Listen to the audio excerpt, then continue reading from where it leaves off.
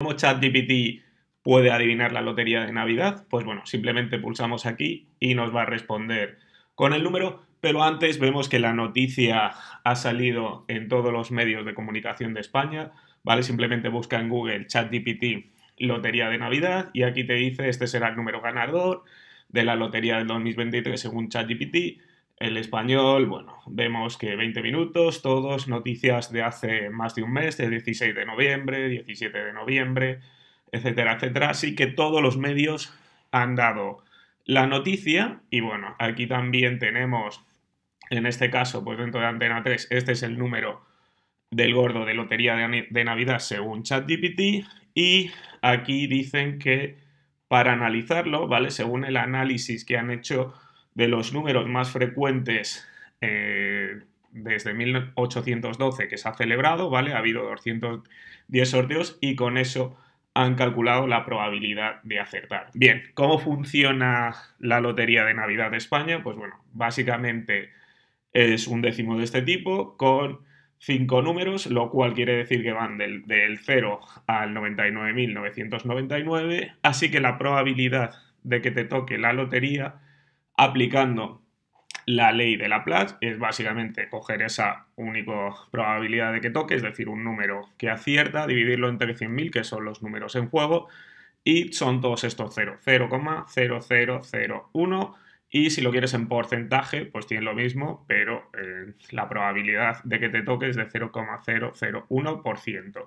¿Vale? El décimo cuesta 20 euros y te toca 400.000. Eh, Ese es el beneficio Así que, aunque 200, el estudio que han hecho, 200 puede parecer un número grande, para el estudio, para calcular la probabilidad, tal y como dicen aquí, si lo comparamos con el número de token, esta es la página de Wikipedia de los LLMs y aquí te puedes ir a la versión de ChatGPT que tiene 300 billones, 300 billón de token y cuando hablamos de la versión GPT 4.5, la mejor hasta la fecha es de un trillón, así que vamos a ver esa estadística. Básicamente quiere decir que ha sido GPT-4 el que te va a predecir con todos estos ceros y aquí el estudio lo han hecho con 200. Si haces la, misma ley de, de Laplace, en este caso hay muchos ceros, ¿vale? Con lo cual Quiere decir que aunque 200 parece ser un número grande, para este ejemplo 200 no vale nada, así que este estudio que han hecho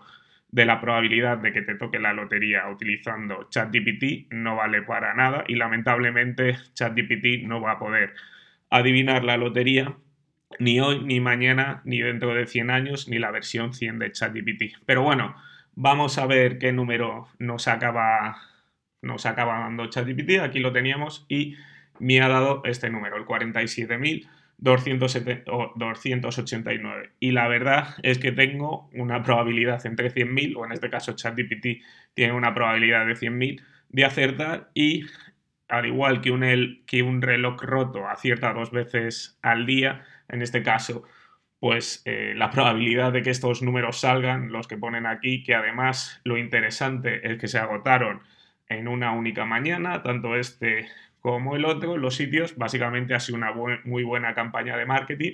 Así que al que se le haya ocurrido, que pues, entiendo que sería el dueño de la, de la, de la administración que vendió ese número, pues eh, bien, bien, bien ejecutado. Bueno, eh, si no te tocó la lotería, te recomiendo que te suscribas a mi canal. Y bueno, si quieres saber más sobre ChatGPT, te recomiendo que te suscribas a este canal. Y posiblemente no hayas acertado la lotería, pero lo que sí puedes aprender en este canal es a optimizar tu trabajo al año que viene. Gracias y suerte.